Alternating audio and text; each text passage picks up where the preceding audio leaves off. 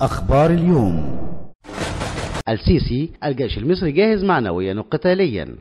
أكد الرئيس عبد الفتاح السيسي أن الجيش المصري جاهز معنويا وقتاليا وله عين يقظة وحركة نشطة وفاعلية في أداء مهام حفظ أمن وأمان الوطن وحماية حدوده. وأوضح السيسي أن نجاحات الجيش المصري تبدو بوضوح من خلال المناورة بدر 2014 التي تعد الأضخم للذخيرة الحية في تاريخ القوات المسلحة المصرية. وهذه فرصة سانحة للتأكيد على أن أمن منطقة الخليج العربي خط أحمر وجزء لا يتجزأ من الأمن القومي المصري.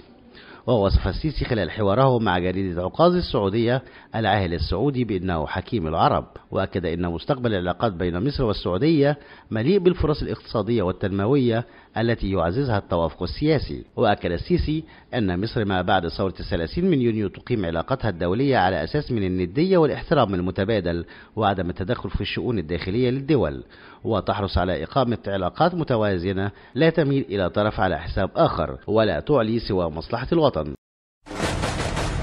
وزير الدفاع تفقد إجراءات رفع الكفاءة القتالية والدفع بتعزيزات إضافية لسيناء. شهد الفريق أول صدق صبحي وزير الدفاع والإنتاج الحربي إجراءات التفتيش ورفع الكفاءة القتالية لإحدى تشكيلات المنطقة الغربية العسكرية بعد تطويرها وتسليحها ورفع كفاءتها القتالية بما يمكنها من مجابهة المخاطر والتهديدات المحتملة. وتنفيذ كل ما تكلف به من مهام لحماية الأمن القومي المصري. يتزامن ذلك مع بداية إرسال التعزيزات الإضافية من الجيش الثاني والثالث الميداني وعناصر من وحدات التدخل السريع والتي تم نقلها جوا إلى سيناء. وعناصر من العمليات الخاصة للأمن المركزي التابع لوزارة الداخلية في رفع درجات الاستعدادات إلى الحالة القصوى والتحرك والانتشار بسيناء لمعاونة تشكيلات ووحدات القوات المسلحة والشرطة المدنية في الحرب على الإرهاب.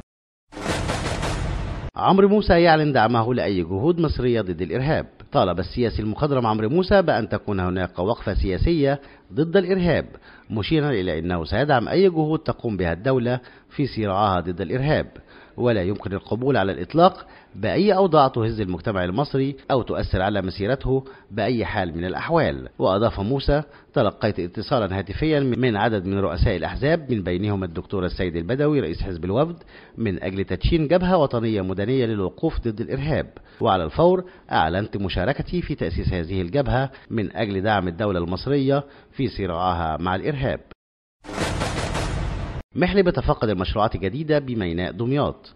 تفقد رئيس الوزراء المهندس إبراهيم محلب ميناء دمياط لمتابعة المشروعات الجديدة برصيفي 18 و 19 واستمع لشرح تفصيلي لجميع المشروعات الجديدة بالميناء والتي تشمل عددا من مخازن الغلال وإنشاء طرق تربط بينهم ومحطة للحاويات وإنشاء محطة صب سائل وإنشاء منطقة حرة صناعية على مساحة 125 فدانا شرق الميناء. يرافق رئيس الوزراء خلال زيارته كل من وزير التموين والتنمية المحلية والتخطيط ومن المقرر أن يقوم محلب بافتتاح أول مصنع للإيسيلين في الشرق الأوسط بمحافظة بورسعيد. أخبار اليوم.